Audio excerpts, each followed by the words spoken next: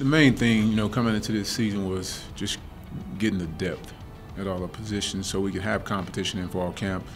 Um, so we can get a good look at see who's going to step up and who's going to just take over. And we've done that, you know, for the most part. And so that's been the the greatest thing to see is just the kids competing and then them coming together as a squad and caring about each other and, and the kids and even some of the parents have come up and said, Coach, it just feels different, you know, this year with those guys. And so that's the thing that's exciting to hear coming from the kids and not just us talking about it. It's more so about us being able to dictate the pace. And so just the simple fact that we don't always have to be in that hurry up mode. We can set the tempo from the line. We can decide whether we want to go and slow it way down or we want to speed it up. And that's the thing that's exciting about, you know, just having the no huddle. Everybody thinks no huddle and they automatically think it's go, go, go, go, go. And yeah, we can do that. And if that dictates and that's going to give us an advantage, we'll do that too.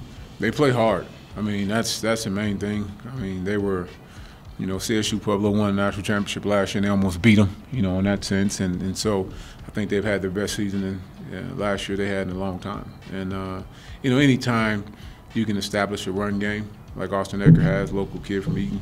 Um, as established for them, you can be pretty good moving the ball. And so we got to make sure that we take care of the run game and make sure we try to slow that young man down as much as we can. And, you know, they run a 3-4 defense. And so they can come at you from all different ways, all, all different styles. And so we just got to make sure we have our blitz pickups and our checks and balances in order you know, on the on the offense side of the ball for that as well. But they're a pretty good football team, and it's always good to, you know, get an in-state team and, and uh, you know play against them because now everybody has something invested, you know, on both sides of, of the stand, so to speak.